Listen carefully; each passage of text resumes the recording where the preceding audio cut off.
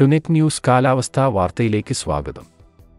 പതിനെട്ടാമത് ലോക്സഭാ തിരഞ്ഞെടുപ്പ് നടക്കുന്ന ഇന്ന് സംസ്ഥാനത്തെ എല്ലാ ജില്ലയിലും പകൽ ചൂട് കൂടാനാണ് സാധ്യതയെന്ന് സ്വകാര്യ കാലാവസ്ഥാ നിരീക്ഷണ വിഭാഗമായ മെറ്റ്പീറ്റ് വെതർ അറിയിച്ചു.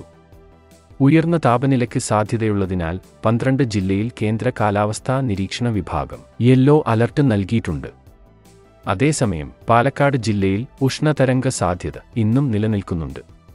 ഇന്നലെ പാലക്കാട്ട് നാൽപ്പത്തി ഒന്ന് ദശാംശം മൂന്ന് ഡിഗ്രി താപനിലയാണ് രേഖപ്പെടുത്തിയത്. സാധാരണയേക്കാൾ നാല് ദശാംശം ഒൻപത് ഡിഗ്രി കൂടുതലാണിത്. ചൂട് കൂടുന്നതിനു പുറമെ ഇന്നു മുതൽ സംസ്ഥാനത്ത് മഴ കുറയുമെന്നും മെറ്റ്പീറ്റ് വെതർ പറയുന്നു. വോട്ട് രേഖപ്പെടുത്താൻ എത്തുന്നവർ നേരിട്ട് വെയിൽ കൊള്ളരുത്.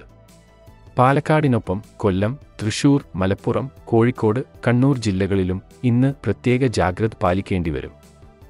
അന്തരീക്ഷത്തിലെ ആർദ്രത കാരണം. ചൂടും അസ്വസ്ഥതയുമുള്ള കാലാവസ്ഥയാണ് ഇന്ന് പകൽ സംസ്ഥാനത്ത് അനുഭവപ്പെടുക. തിരഞ്ഞെടുപ്പു ദിനമായ ഇന്ന് സംസ്ഥാനത്ത് മഴസാധ്യത പൊതുവെ കുറവാണ്.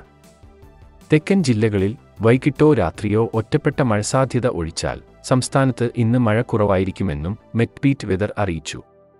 കേന്ദ്ര കാലാവസ്ഥാ നിരീക്ഷണ വിഭാഗത്തിന്റെ ഇന്നലത്തെ നിരീക്ഷണ പ്രകാരം ഇന്ന് ഏഴ് ജില്ലയിലാണ് മഴസാധ്യത പ്രവചിക്കുന്നത്.